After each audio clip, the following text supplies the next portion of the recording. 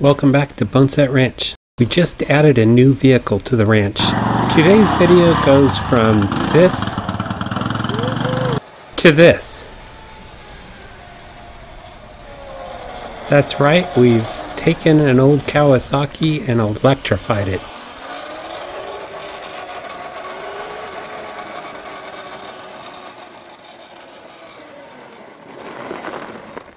Oh, it really gets on it.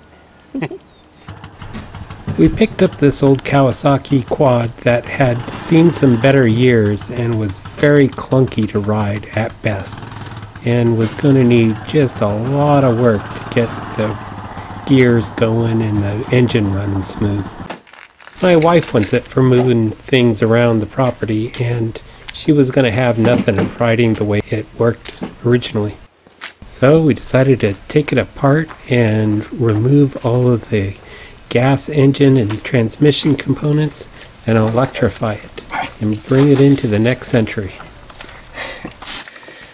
Now the shaft's fighting me. Oh, God, this thing's heavy.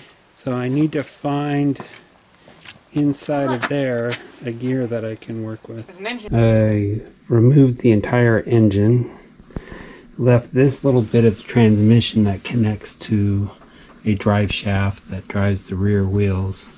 And this part comes off of here like that. And I need to find a way to make this connect to the motor so that I can hook it up here and then run to power this, I picked up a kit from Amazon that included the motor, the sprocket, the chain, a motor management system, the throttles, the key, basically the things I'd need. So this is the part off the transmission that needs to go into the drive shaft. And I need to find a way to make this connect to this. Now, they've provided a sprocket that could potentially go on the end here and then line up with a chain. I ended up cutting down the shaft and welding on the sprocket.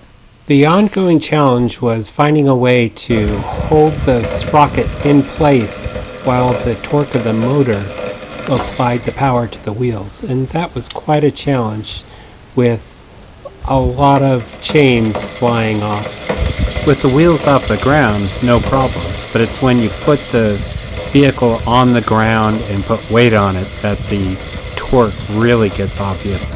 So this is the bike torn apart. Everything that I had put on it previously for testing the concept has been removed, painted, adjusted the way I think it needs to be adjusted so when it comes back on, it'll all work. I've cleaned up and painted the area where the new um, components go and only there because I want to know that this is going to work before I spend too much time, you know, cleaning all this out and cleaning all that out and then repainting it and then putting all the body work back on and the seat and everything. I want to see if this thing will be usable first. So this is the kit I got from Amazon. Together, all the wiring was done and I just had to pay close attention to what I was hooking up here. And the motor seems to work fine. The charger works great, but the battery has its issues because, you know, I have no power now. However, if I plug into the battery here, this should take hours to charge. And you see that um, there's a green and red light. It should be two reds as it's charging, but that's not what's going on. However, with this on, I can make the motor run. So my next step of reinstalling the motor onto the bike now with um, everything hopefully getting adjusted to where the chain will stay on and I'll be able to drive. What I will be able to do is plug in the charger to my portable battery and run through this battery into the motor um, and test to see if the chain stays and if everything is good for the next step. the next step will be to attack this battery. So as you can see, it's been on, it's supposedly charged. I unplug it and this is how much I get. There you go. That was it.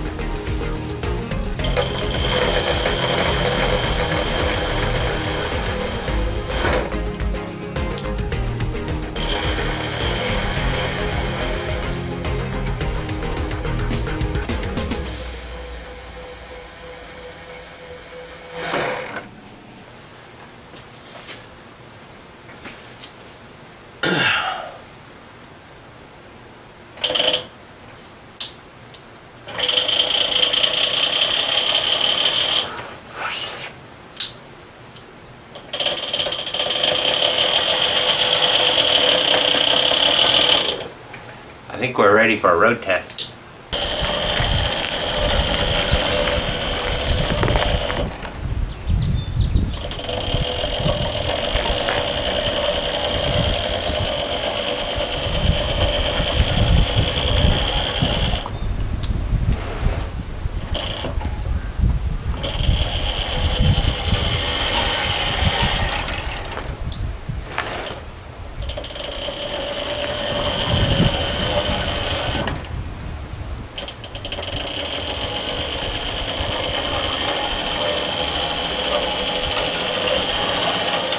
Okay, so here's what I'm working with. You can see the yellow battery. That is a um, standalone AC battery for running small tools and that sort of thing. I've got the charger plugged into it and it plugged into the battery and of course the battery running everything else. Now with the problems with the battery is not charging, I'm not getting a good 30 amp reserve of power for the motor. All I'm getting is the 3 amps that comes out of this charger. And so when I try to move this thing with any kind of a load, it doesn't move very fast or very far.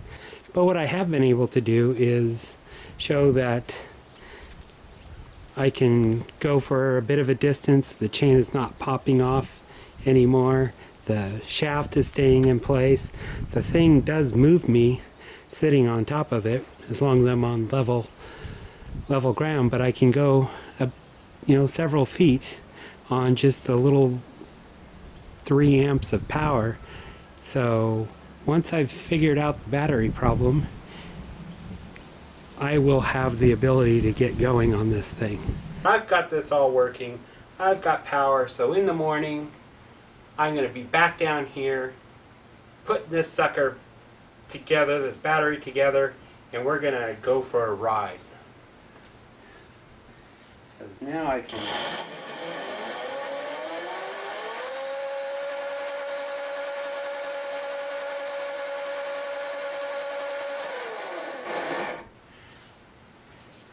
So now I can give it all it's got, and now it's going to be fun. Alright. Okay, it's ready for its maiden voyage Get it out of the shop and on the road. The battery is rewrapped. I found that there was two battery cells that weren't getting a good connection. I got that soldered in better and it seems to all work properly.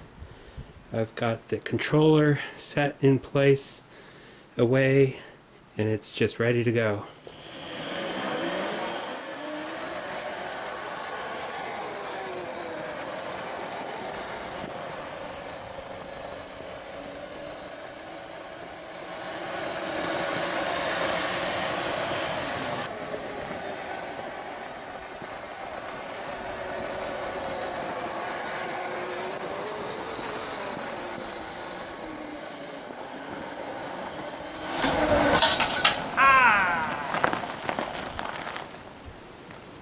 Chain came on.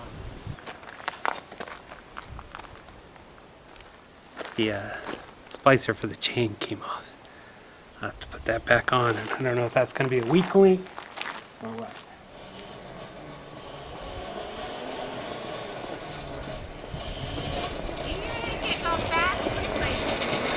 Use that foot.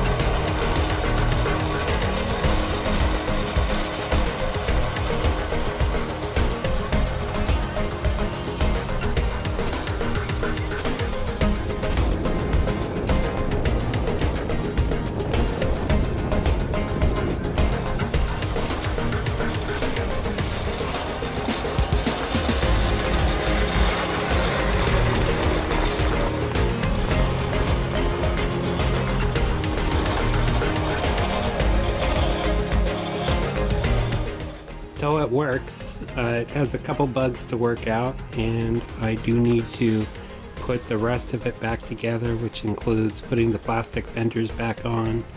I need to build a box that holds the battery that uh, makes it a little more puncture proof. I think that's a good location for it if it fits with the body parts that need to go back on still. I need to get the front brakes working and beyond that, I think it's uh, good to go. The next time you see this should be in Wyoming and we're trying out some trail riding. Thanks for watching.